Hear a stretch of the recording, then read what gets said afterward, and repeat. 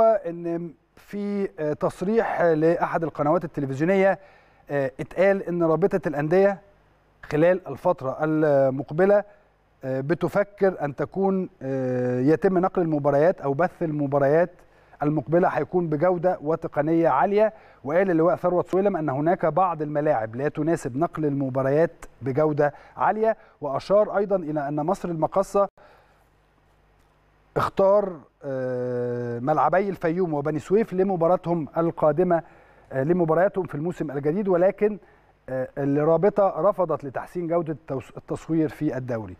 وتابع أيضا اللواء ثروت سويلم حريصون على نقل المباريات بجودة عالية. لسنا أقل من أي دولة في العالم. لدينا مخرجون ينقلون المباريات بطريقة محترفة لكن الأدوات لا تساعدهم. لم يكن في تفكيرنا مخاطبة اتحاد الإذاعة والتلفزيون لتحسين جودة التصوير ولكننا ركزنا على اختيار الملاعب التي تساعد على تحسين الصورة. كلام محترم الحقيقة من اللواء ثروت سويلم المتحدث باسم رابطة الأندية. ولكن هو كلام صعب شوية. يعني إيه صعب؟ يعني معنى الكلام اللي اللواء ثروت بيقوله إن لو كان هناك ملعب. خلينا أتكلم عن النادي الأهلي. النادي الأهلي اختار أو بيلعب في ملعب الأهلي والسلام في مدينة في أول طريق إسماعيلية في مدينة السلام أو في منطقة السلام. طيب على اعتبار إن الرابطة شافت مثلا يعني طبعا هو الملعب مجهز وعلى أعلى مستوى وكل حاجة. شافت إن الملعب ده غير مجهز وما ينفعش يلعب فيه النادي الأهلي. هتعمل إيه؟ حضرتك هتعمل إيه؟ هترفض إن النادي الأهلي يلعب على الملعب ده عشان تصور؟ طيب هو النادي الأهلي عايز يلعب في الملعب ده. مثلا يعني أنا بتكلم عشان ما حدش يقول لي أنت بتتكلم باسم نادي آخر. أنا بتكلم باسم النادي الأهلي أو يعني بتكلم بالنادي الأهلي. إن الملعب ده وهو ملعب على أعلى مستوى وملعب كل التقنيات الحديثة موجودة في ملعب الأهلي والسلام شركة السادات الحقيقة عاملة شغل رائع جوه الملعب وحضراتكم شفتوا ونزلنا مرة عملنا تقرير من جوه الملعب ومن أوضة اللبس ومن المدرجات وورينا لحضراتكم كل اللي بيحصل هناك.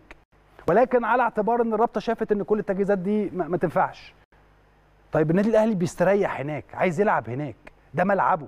هيعملوا إيه؟ هتيجي تقول له لأ النادي الأهلي مش هي يعني هتقول للنادي الأهلي أو الرابطة هتقول للنادي الأهلي لأ مش هتلعب في الملعب ده؟ طيب. نادي غزل المحلة اخذ كل الموافقات الأمنية واخذ كل الأمور الخاصة بإن هو يلعب على ملعبه. نادي غزل المحلة. طيب نادي غزل المحلة خد كل الموافقات في كل شيء. هل حضرتك هترفض إن هو يلعب؟ لو على اعتبار إن الملعب برضو بتاعه مش مجهز. مثلا يعني برضو حاجة هتبقى غريبة جدا إن أنت ترفض مصر المقصه اختار ملعب بني سويف وملعب الفيوم. حضرتك رفضت. طب وبعدين؟ هو عايز الملعبين دول. طيب الملعبين دول مثلا ب 10 جنيه أو إيجارهم ب 10 جنيه لنادي مصر المقاصة. نادي مصر المقاصة دلوقتي عارفين إن هو أو نادي هويدي عارفين إن هو دلوقتي عنده مشكلة مادية. مش هيقدر يدفع أكتر من 10 جنيه. حضرتك قلت له روح مثلا الدفاع الجوي. مثلا. طب الدفاع الجوي بيأجر الملعب ب 20 جنيه. هتدفع له فرق ال 10 ولا هتعمل إيه؟ ولا هتجبره إن هو يدفع ال 20 جنيه الإيجار مثلا يعني؟ حضرتك من وجهة نظري يعني حط مواصفات للملاعب وعلى كل نادي أن يختار مواصفات الملعب اللي هيلعب عليه من خلال ومن طبعا من ضمن هذه المواصفات من ضمن هذه المواصفات إن هو يكون ملعب مجهز بكذا وبكذا وبكذا وبكذا علشان النقل التلفزيوني بجودة عالية. لكن لكن حضرتك ما ينفعش تحدد خمس ست ملاعب وتقول إن هم دول بس اللي هيتلعب عليهم الدوري.